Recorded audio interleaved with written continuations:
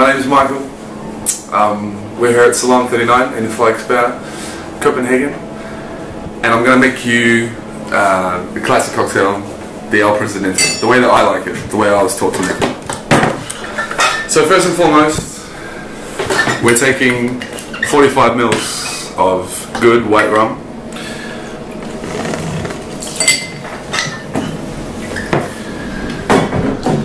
Forty-five mils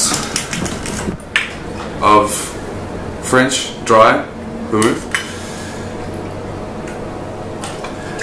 I think the classic recipe for this drink is usually a little bit different, higher um, higher white rum to vermouth ratio, but in this way it kind of softens it out a little bit, it's a little bit more approachable. A wee bar spoon of um, good dry curacao.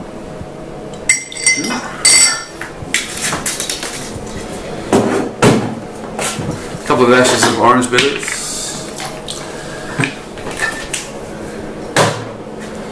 And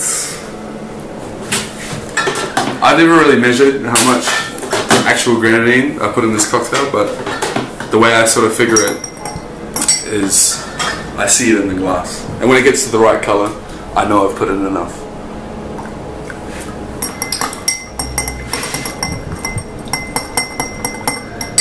That's perfect. Should be sort of like um, a wee bit pink, you know? Alrighty, so ice.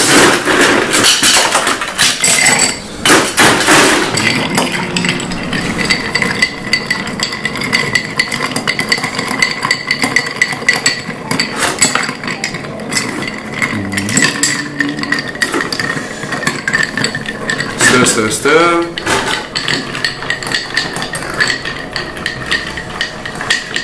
With the original El Presidente, I think you'd need to sort of stir it a bit more than you would in this case. Again, because I use equal parts of vermouth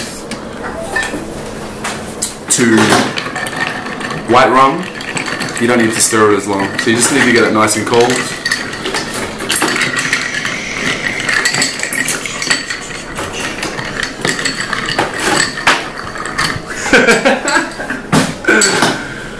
Alright, that should be done.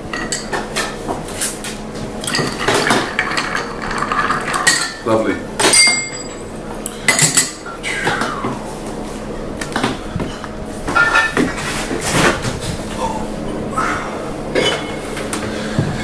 Strain it into a nice cocktail glass.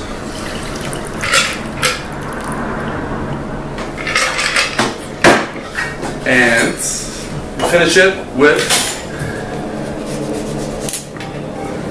an orange zest. Discard. Cheers.